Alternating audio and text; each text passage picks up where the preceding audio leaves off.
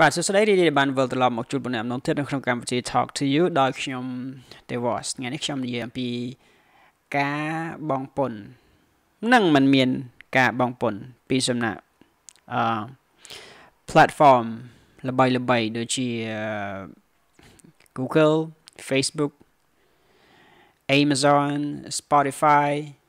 ជាបណ្ដា platform ដ៏ធំនៅក្នុងពិភពលោកសួរថាតើ platform ទាំងអស់នោះបានបងពុនដែរឬទេ ចូលប្រទេស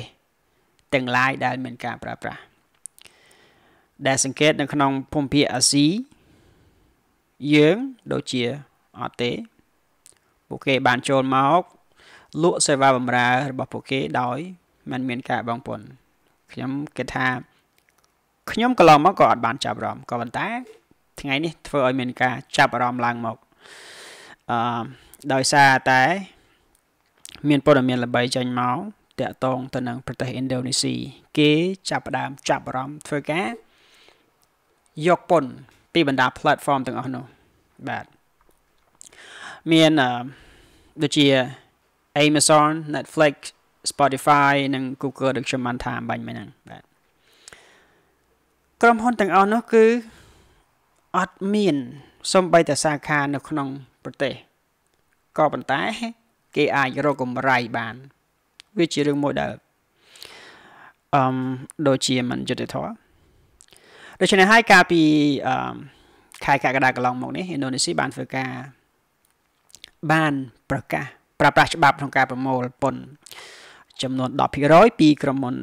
technology ទាំងអស់នោះទាំងនេះក៏ដោយសារឥណ្ឌូនេស៊ីមានបំណងទាញយកប្រាក់ចំណូលបន្ថែម មួយផ្លូវផ្សេងទៀតនៅក្នុងកំឡុងពេល COVID-19 រាតត្បាត ដែល បានប៉ះពាល់ដល់ប្រាក់ចំណូលរបស់រដ្ឋដោយគេបានស្មានឃើញថានឹងធ្លាក់ចុះប្រាក់ចំណូលរបស់រដ្ឋដល់ទៅ13%បាទត្រង់បាទត្រង់ហេតុផលកន្លែងនេះខ្ញុំគិតថាมันត្រឹមតែប្រទេសឥណ្ឌូនេស៊ីតែមួយនោះទេ គឺស្ទើរតែគ្រប់ប្រទេសទូទាំងពិភពលោក គឺជួបបញ្ហាបែបហ្នឹងបាទថ្មីថ្មីនេះឥណ្ឌូនេស៊ីក៏បានបន្ថែម ឈ្មោះក្រុមហ៊ុនដែលនឹងត្រូវប្រមូលពន្ធដូចជា Facebook, TikTok, Apple និង Amazon ឥណ្ឌូនេស៊ីជាប្រទេសដែលមានប្រជាពលរដ្ឋច្រើនជាងគេនៅក្នុងតំបន់អាស៊ាន មានចំនួនដល់ទៅជាង273លាននាក់ហើយមានអត្រារីកចម្រើនលូតលាស់ផ្នែកទីផ្សារអនឡាញខ្ពស់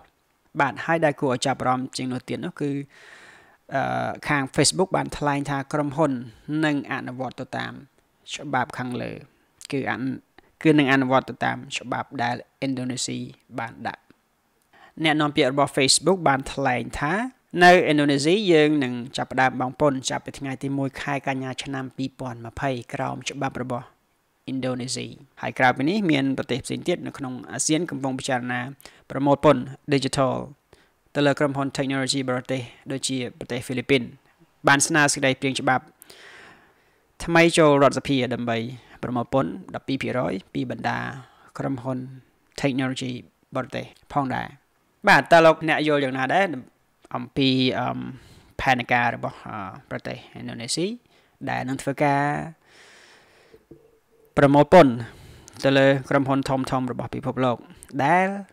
សំបីតែมันមានទីតាំងនៅក្នុងប្រទេសរបស់ខ្លួនក៏ប៉ុន្តែបានធ្វើកម្រៃអំពីសេវារបស់ខ្លួន អំពីការលក់ផលិតផលរបស់ខ្លួន ក៏ប៉ុន្តែมันមានការបងពន្ធចូលប្រទេសរបស់គេมันមានការបងពន្ធចូលប្រទេសរបស់យើងយើងសង្កេតឃើញថាមានតែការបងចាយលុយទៅឲ្យក្រុមទៅឲ្យក្រុមហ៊ុន platform ទាំងនោះ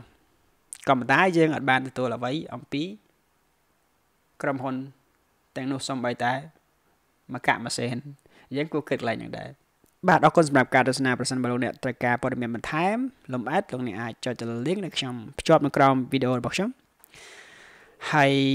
បើសិនបើលោកអ្នកចូលចិត្តវីដេអូរបស់ខ្ញុំចុច like និង subscribe ទៅលើ YouTube channel របស់ខ្ញុំដើម្បីទទួលបាននៅវីដេអូបន្ទាប់